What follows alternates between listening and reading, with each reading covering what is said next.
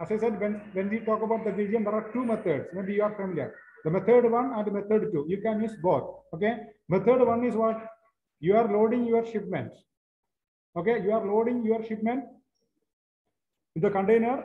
Okay. And after that, you are using one accredited or certified what the third party for weighing your shipment. Okay. They are weighing with what? With the, the trailer itself, but they can segregate the weight. Okay. Because they already know the weight of the trailer and uh, uh, you know the, the cargo weight. Okay. So in Kuwait, I'll tell you, Kuwait, we have accredited uh, uh, the weighing station like the big companies, Kharafi and all, or you have in the port itself, one port, Shuwaikh port, we have that facility. So what you will do, if the company, you know that uh, some companies, they don't have this weighing facility, big companies, plant or factory, they will keep. Otherwise, they will load, they will go to the weighing station and they get the receipt and they will submit. But second is the most of the companies, they are doing the method two. What we'll do, first the container will come, the empty container on the track. So Mizan is there, weighing is there. They will show the weight of the, the trailer, okay? And weight of the empty container, it will show, okay? We will store it in the system. Then after that, container will go for the loading. They will load all the pallet. They will load the stuffing, the dunnage, whatever thing they do. They come back again with the full load, okay? Then this full load, they will get the the you know difference because you already have the system, the weighing system, what is the empty weight for the trailer and the, the, the, the container you have or container weight number you can see from the container door itself. Normally 20 feet container, you know that it's a 2100 something will come, right? So you have that. Then you will wait, then you will get the what?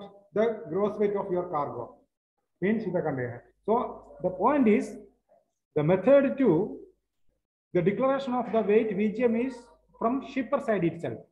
He has the facility, the container loading, dunnage, whatever things, load and empty he has made and the full he will make now.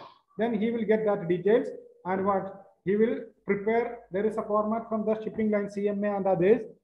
Like the word, you will declare there what shipper name, consignee name, container number. Okay. VGM method two. You will say VGM method two and the gross weight this much hereby I declare, hereby we declare the shipment is contained this much gross weight. Okay. Signature from the authorized signature and stamp. You will give, you will scan to the shipping line. It's okay, fine. Okay. And there is a fee also for the, the VGM fee, processing fee. I, I think maybe 25, 40, the normal rate. This is for the processing fee because if any activity is there, it must be handled, right? With the labs or whatever thing. That is the VGM fee. So this is also like a MBL, HBL, VGM is the another important document. Okay, but just think this VGM will not be affected by you know that uh, bulk type of the shipment. Okay, you cannot do that. Okay, this with the container we have these two methods we are using. Otherwise, you have to declare shipper have to declare the actual weight. Okay, right, Denzil or no? You Denzil, you are using that uh, bulk shipment or no? Only containers? No. No, only containers. I was just checking the rate, sir. You told me that the VGM is it is forty dollars per unit. Yeah, forty dollars, right? It's coming like that. 40, 40. Okay. Yeah, forty dollars per unit. I've got an invoice which one shipment I said export shipment I said blah blah. Oh. Another document is there. I just want to inform you that the export order. Maybe you are familiar with it. what is the export order. Yeah. I just want to add this also. You know that whenever you have the export shipment, okay, what is the process? Uh, the, as a shipper, you have the shipment. Okay, shipment is ready, packaged, palletized, everything fine, and you have the documents, invoice, packing list, and certificate origin, whatever things you have now. The now shipment is ready. You have the booking. You made the booking. Okay. Now the container will bring, and you will go. You will stuff the container. I mean, the, your cargo. So now you know that another process. You remember in our basic uh, chapter for Asgar, I can tell you once the shipment is ready. Next part is after loading, there is a customs clearance process, right? Yes, yes, correct. Their work is there. So here what I'm saying is, this customs house broker, how you are getting your details, they cannot take the details from the shipper, what they declare, and they cannot put in the customs entry, right? It's not like that. They're licensed people. What they have to get, they have to get the, the real information, the proper information, especially the container numbers, type of the cargo approved by shipping line for loading from the shipping line itself, the carrier. Okay. So customs broker, you are not, not asking the export order from you, shipping instruction from you for the details of the shipment. They are contacting the shipping line. Okay. So exporter, what we are doing, for example, if I have the shipment, one, two containers, but that uh, shipping line, for example, I am using the pill or I'm using the COSCO or the Maersk. Maersk is most advantageous. They are using everything this uh, uh, online, but this they are using what this document. For example, say Excel sheet, Excel sheet, there are two Excel sheets they will send as a document for export order. Okay. Where first they are mentioning the details of the, the shipper, consignee, number of the containers, okay, how many containers and gross weight of the containers. If the five containers, five into 20 or five into 40 and gross weight of the containers, one container gross weight, okay. You know the net weight and the gross weight different. Net weight is the, the weight of the product. Gross weight is including what the dunnage. You know, Dunnage, packing. pallet, bags, and in a belt, whatever things they declare. Okay.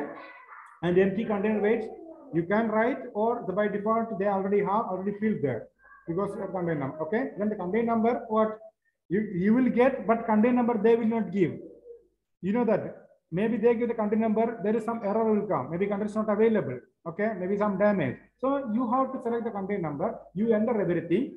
And the second part again, you have to put the each container number before we are saying how many containers, the quantity and the how many gross weight. Okay. And who is the shipper, consignee, destination, and agent and all. Here now we are describing the second tab what the container numbers, full container numbers, one, two, three, four, five, okay, 20 or 40, one, two, three, four, five. I mean that all containers description.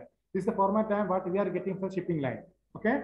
Then we are saying the other details, what uh, the shipper, consignee, and the location and notified party, ship, uh, agent, everything the normal thing.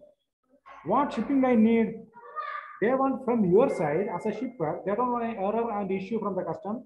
This is the container number we collected. This is the shipper. This is the consignee exactly. Okay, number of containers. You enter everything. Shipping line will receive this data. They will upload in their system. Okay, this upload and what there in their system application, they will generate what the export order means like the DO. It will mention all the details. The problem, you know that whenever you see this, you have to check the gross weight, the commodity details, and the Incoterms, it is actually. So, because you know, once you submit submitted the custom, you think everything okay.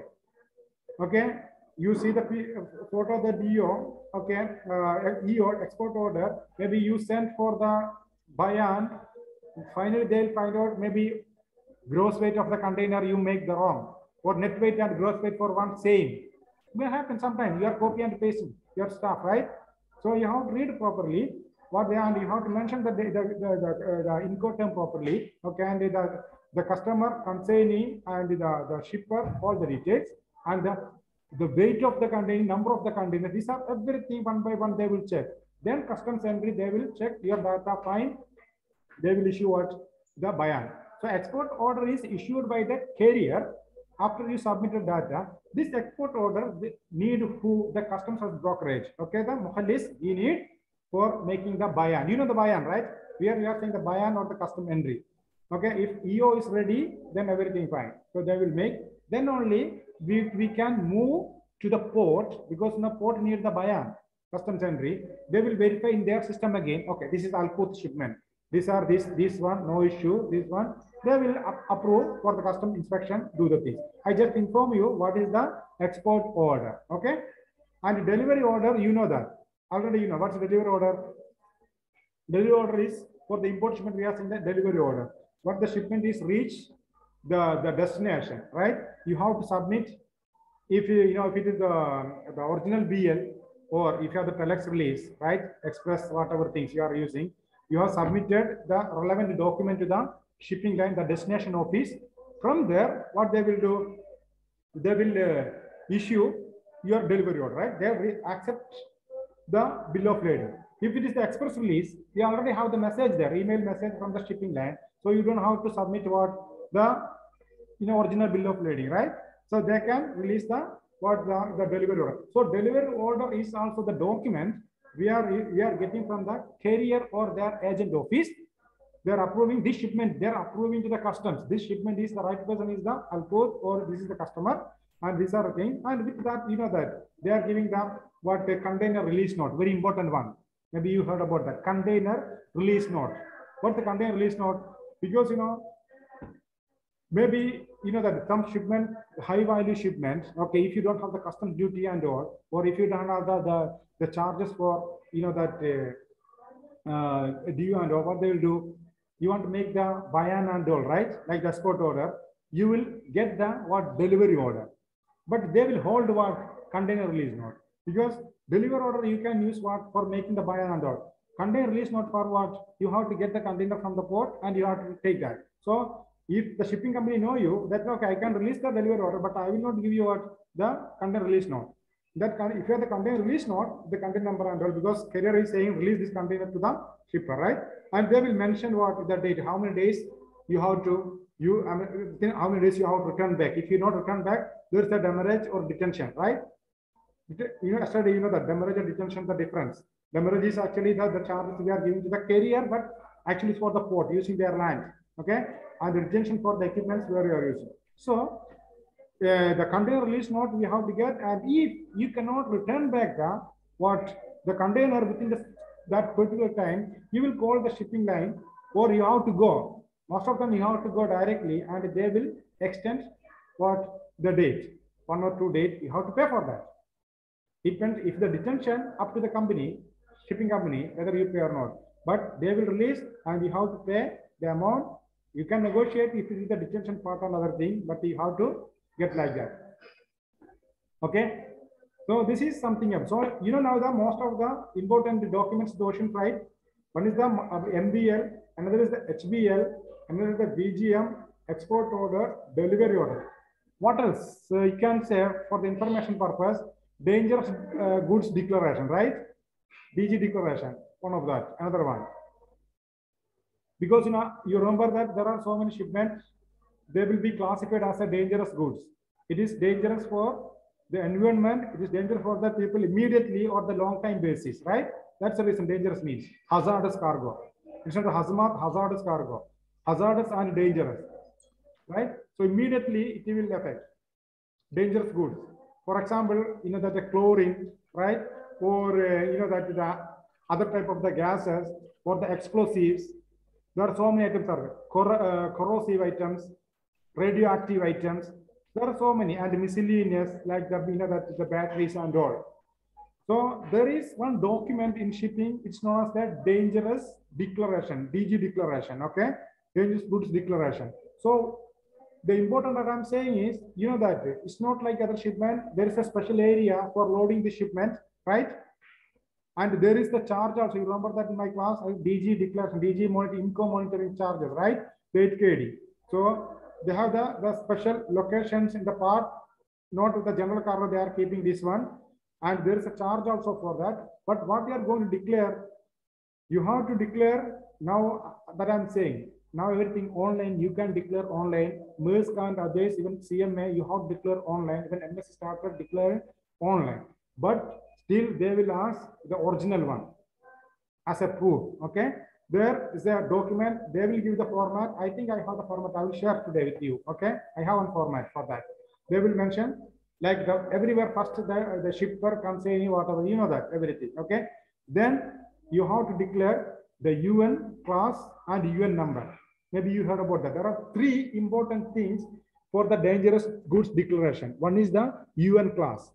There are nine classes that are declared as a dangerous goods by IMO and IATA. Okay, IMO for the maritime, IATA for the aviation. Okay, so like uh, the one uh, UN class one, okay, for the explosives, and two, I think uh, you know that the flammable liquids. Okay, no, two is the gas. I think I have that things. Then three uh, flammable liquids, flammable solid, radioactive, corrosive. There are so many. Then the last one is the nine, and uh, you know that uh, miscellaneous. You know there are so many items you cannot fit into the eight groups like the explosives or radioactive. There are some other things. You can the, the batteries, right? The spray. There are so many things are there. Dry ice, you know, mask, face mask, and uh. Asbestos, asbestos, asbe- asbestos. Yeah, yes, yes. So what I'm saying, this type of the item. So you have to declare UN class, which class is is uh, related, you know, concerned, and the UN number. For example, I'm saying for my product, uh, you know, that chlorine or caustic soda flakes is say maybe the UN class 8. Okay. So what's the corrosive? If it is the flakes come onto your hand or somewhere, so it will corrode your body. Okay, corrosive. You know that uh, UN number, I think it's 2.3 chlorine. So it's chlorine, it's open. If you breathe, then immediately you'll be unconscious, the poison, okay, inside. So different type of the UN class. Why it is that whenever something happen, you know that uh, they are what they will check the shipment in the manifest. Okay, which shipment is there? Okay, UN class C. So they have the handling team information. They cannot handle the same UN 3 with UN 8, right? It's a different one. Poison and explosive, different things are there. And maybe you noted that most of the tankers, road tankers, you can see some stickers everywhere, right? Usually you have stickers. You know that the DG stickers are there. There you can see, you know, the skull number for the chlorine and marine pollutant number. There they will mention your class number. First, any accident happened, what they check the firefighters, what, what they check, the UN class and UN number, because they are trained with these things, how to handle the IMCO. Okay, UN class and UN number. It must be declared properly. If anything wrong declared, it's a big issue. And there's a package. What type of the package? Package one, two, three. Okay, so it depends the severeness of the package.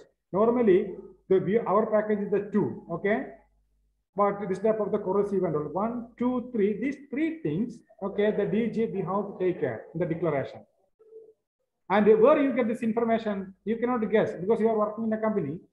Your company, your safety team, right? The safety team, they will prepare the MSDS, material safety data sheet or safety data sheet. You have to get from them. And therefore, this is their job, okay? Making the MSD. And the clause, I think 14, the clause. Yeah, it's a clause, the, the section number 14 in the, I think in the MSDS, it will show you the transportation handling. Okay, there you can see, you know, that uh, UN number, UN class, and the package number and all. So it is easy for you just take from there and you put it on your DG declaration, UN class, UN number, and package. Okay. Now what I'm saying is when you are declaring through online for the Maersk, uh, you know that uh, technological how they are using, there you'll see some issue. These three normally need for manual declaration, you know, but from them there are so many questions. Marine pollutant this way and that way, temperature, this, so many things are there.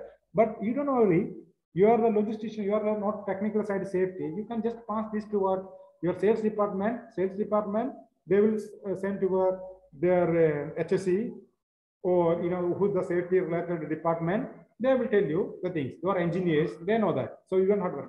But what you have to worry, you have to declare properly and a maximum. What, from experience, what I'm saying, whenever you are asking something, for example, Maersk say, put this information. This bag, what is the package code for this bag? Okay, not the pallet.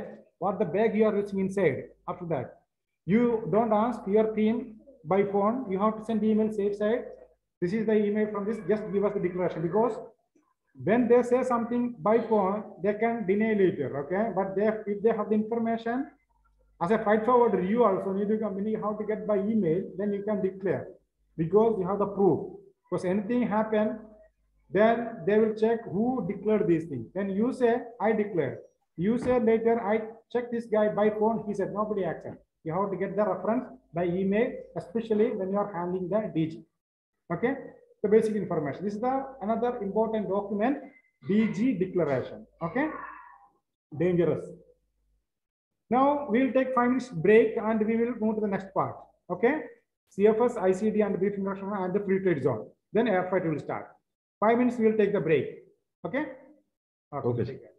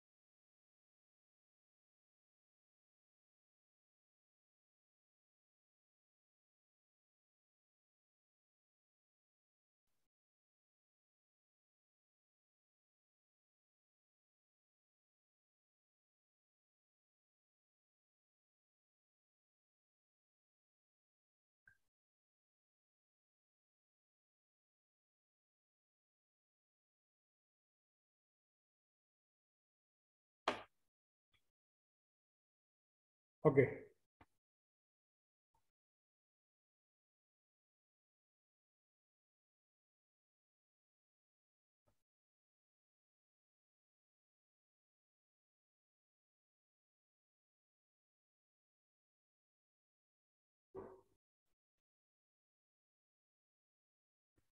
See, let's start here now.